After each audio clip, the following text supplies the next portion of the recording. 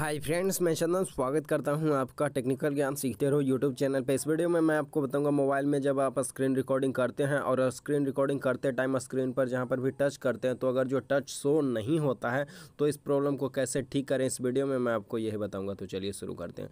तो उसके लिए आप अपने मोबाइल का सेटिंग्स को ओपन कर लीजिए और उसके बाद आप स्क्रॉल करके नीचे करिए और नीचे करिए और नीचे करिए और उसके बाद आप यहाँ एडिशनल सेटिंग्स पर क्लिक करिए।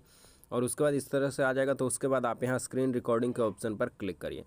और उसके बाद इस तरह से आ जाएगा तो उसके बाद आप स्क्रॉल करके नीचे की ओर करिए और यहाँ पर आपको एक सेटिंग मिल जाता है सो स्क्रीन टचेज तो आप यहाँ पर क्लिक करके ये सेटिंग ऑन कर दीजिए। फ्रेंड्स जैसे देख सकते हैं, अब मैं ये सेटिंग को ऑन कर दिया तो ये सेटिंग जैसे आप ऑन कर देंगे और उसके बाद आप स्क्रीन पर कहीं पर भी टच करेंगे तो टच शो होगा। जैसे मैं यहाँ पर टच करता हूँ तो देख सकते हैं एक वाइट कलर का यहाँ पर टच शो हो रहा है। तो ये सेटिंग को ऑन कर लीजिए और उसके बाद आप स्क्रीन पर स्क्रीन रिकॉर्डिंग करते टाइम कहीं पर भी टच करेंगे तो टच शो होगा।